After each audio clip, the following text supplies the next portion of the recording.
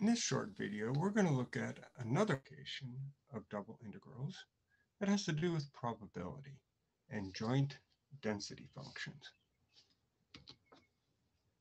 So before we talk about joint density functions, let's go back to Calculus 2, where we might have learned about probability density functions. A function f of x, so it's a function of only one variable, is a probability density function, or a PDF, provided that it satisfies two conditions. The first condition is that the function values have to be non-negative for all x. And the second condition is that the integral from negative infinity to positive infinity of f of x dx has to equal exactly 1. Now, if x, and it just seems to be a convention that we use capital letters to represent uh, random variables that would correspond to our lowercase x in the integral. So if uppercase x represents a continuous random variable, then the probability that x is between a and b can be determined by evaluating the integral from a to b of f of x dx. The mean of this probability density function is mu equals the integral from negative infinity to infinity of x times f of x dx. So this should remind us of the uh, formula for the moment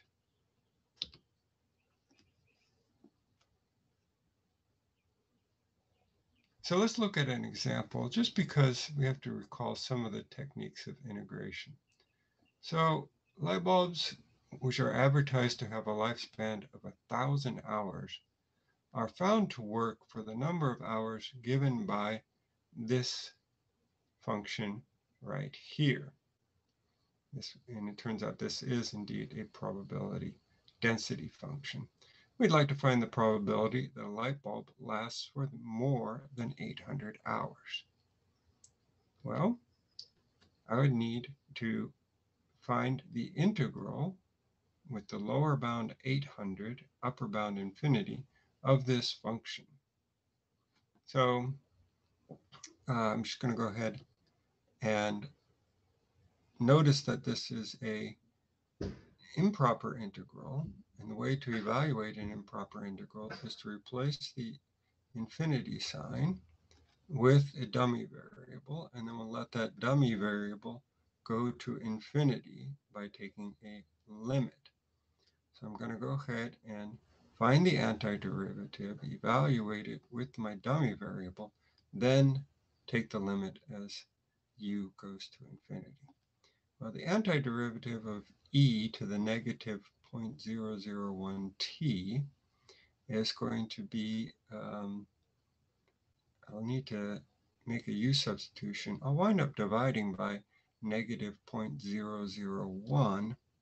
So the antiderivative will just be negative e to the negative 0.001t.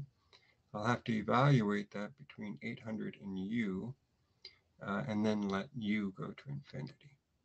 So when I do that, I find that the probability is exactly e to the negative power of 0.8, which turns out to be about 0.45. And just remember that probabilities have to be a number between 0 and 1. 0 meaning that there's no chance it could happen, and 1 meaning that it's certain that the event could happen.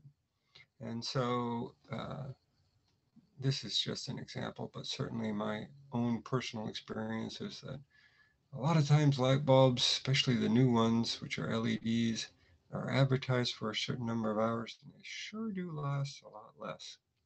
That's my view. Anyway, let's move back to math. And here in Calculus 3, we're going to look at something called joint density functions, which are related to probability density functions. They are functions of two variables. And again, we have two conditions. in order to ensure that it is a joint density function or JDF. Again, the function values have to be non-negative for all values of x and y. And the integral over the entire plane, so over all of R2, meaning x goes from negative infinity to infinity, y goes from negative infinity to infinity, the integral of this function has to also equal 1. Now the probability, so now we have two random variables, x and y, and the probability that the ordered pair x comma y is in a region D is given by the double integral over D of our joint density function f.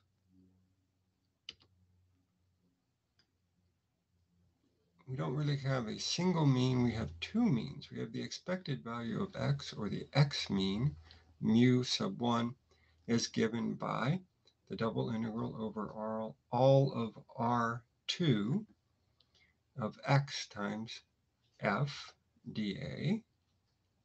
And the expected value of y, which is mu 2, is the double integral over, over all of r2 of y times f dA. And again, these should really remind us of almost like the center of mass of this distribution. So let's look at another example. We're given a function which is 0.1 e to the negative 0.5x plus 0.2y. That's when x and y are non-negative. So in the first quadrant, and everywhere else, it's just going to be zero. So we're asked to do three things. We want to verify that this is indeed a joint density function. We'd like to find the probability that the random variable y is greater than or equal to 1. And then a separate probability that x is less than or equal to 2 and y is less than or equal to 4. So these are actually two subparts here. I'm going to not join these as combined probabilities, but just this probability separate from this probability. And then we'll find the expected values, both the mu1 and the mu2. So to verify that it's a joint density function, we can see that it is greater than or equal to zero. Exponential functions are never negative, and outside of the first quadrant, it's always zero. So now we're going to have to calculate the integral. Now it should be from negative infinity to positive infinity, but we know that when x or y is negative, the function is zero. So we can just start our integrals from zero and go to infinity. And then we'll have to calculate this improper double integral. So we'll do that by calculating it as an iterated integral. So I'll do the inside first. And just as I do with a, an improper integral of a single variable, I'm just going to replace the infinity with a dummy variable, and then I'll calculate the antiderivative, and then I'll let that variable t go to infinity by taking the limit. So let's go ahead and calculate the partial antiderivative with respect to x.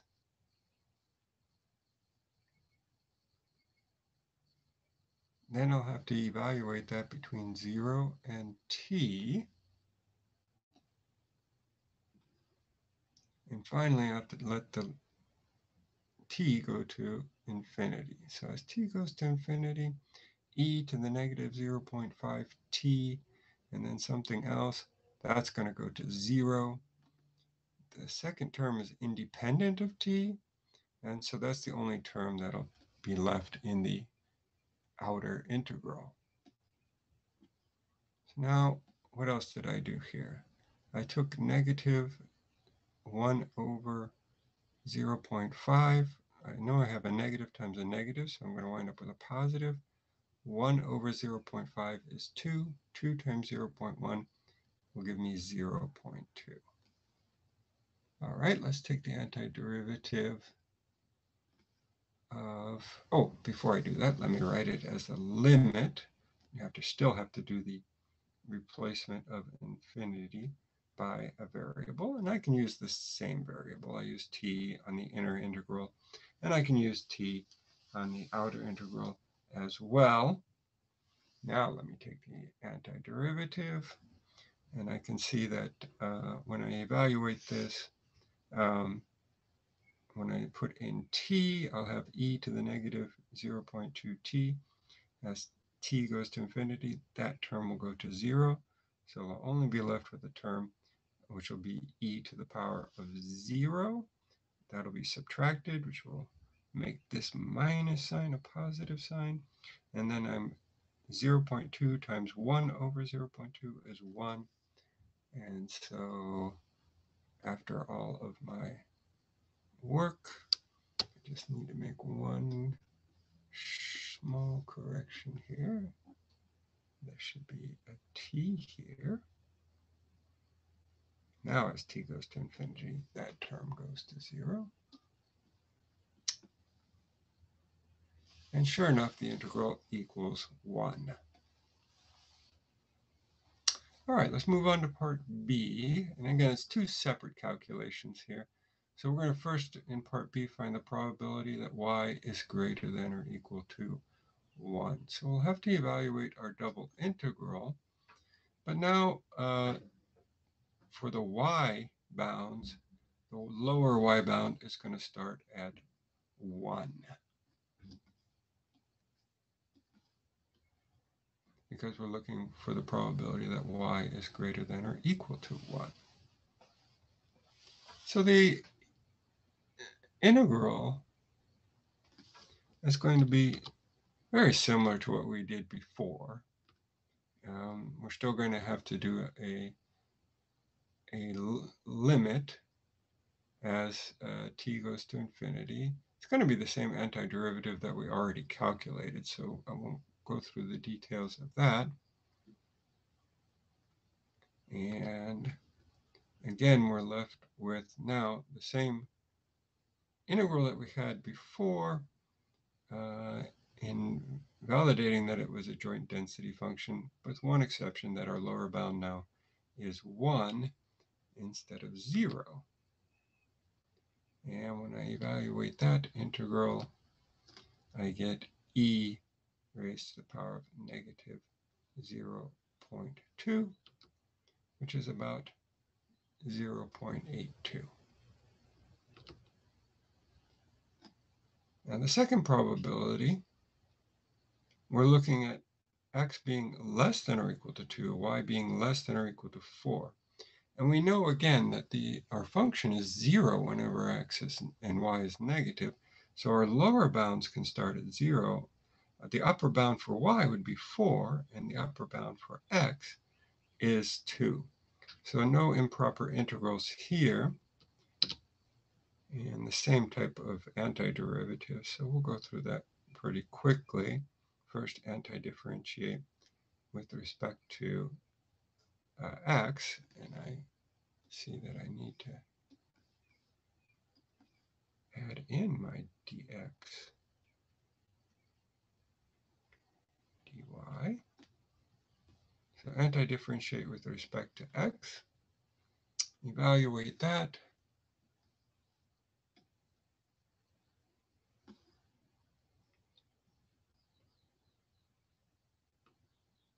Then let's see what anti-differentiate the outer integral, evaluate that between 0 and 4, and doesn't really simplify very much. We get four terms, uh, 1 plus 3 powers of e, but that turns out to be about 0.35.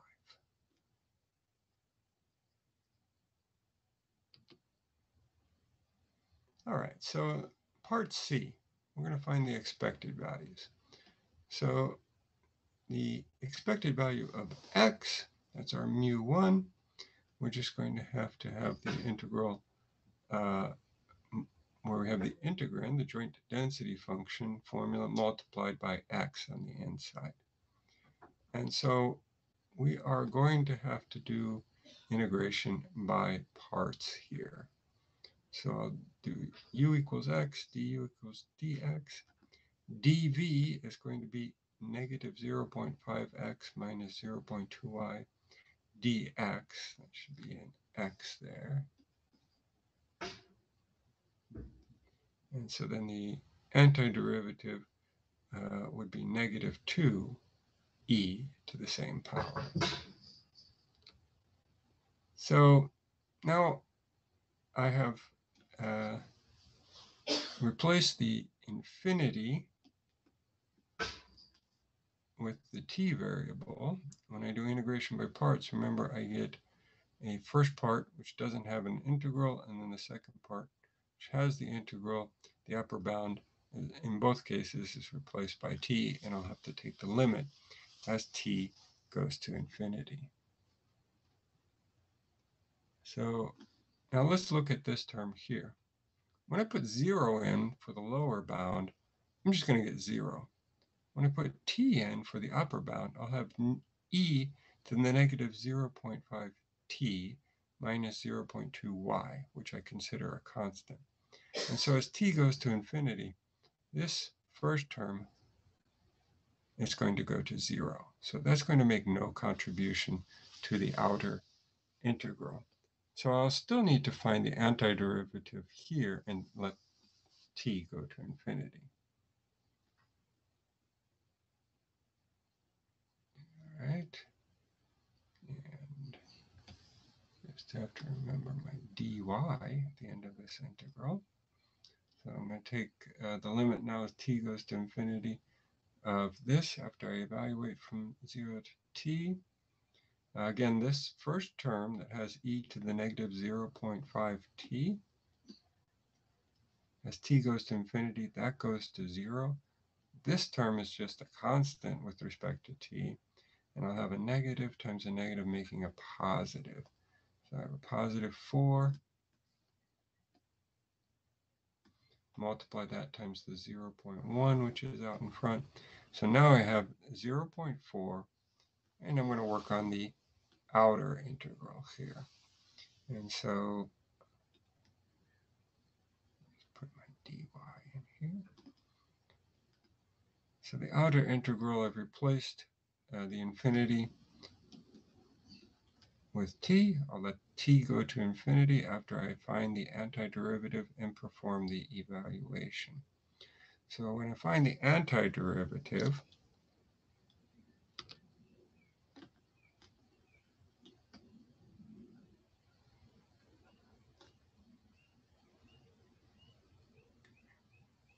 All I uh, have a negative 5 because that's the reciprocal of negative 0.2y.